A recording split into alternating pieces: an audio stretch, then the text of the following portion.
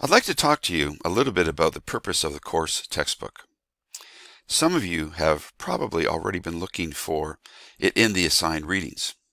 There are no assigned readings. As a matter of fact, the course textbook is only going to be used as a starting point to get you introduced to some of the topics.